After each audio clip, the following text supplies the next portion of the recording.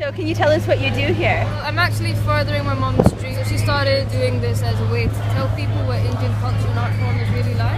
And I found this to be such a good way to communicate. And I do this every year just so that her vision keeps going and I keep developing.